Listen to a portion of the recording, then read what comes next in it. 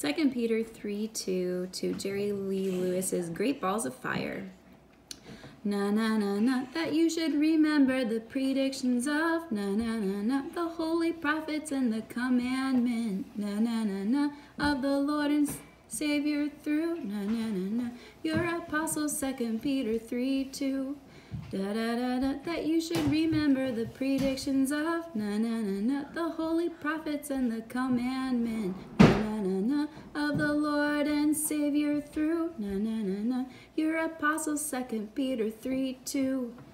Da, da, da, da, that you should remember the predictions of na na na na the holy prophets and the commandment na na na na of the Lord and Savior through na na na na your apostles second Peter 3 2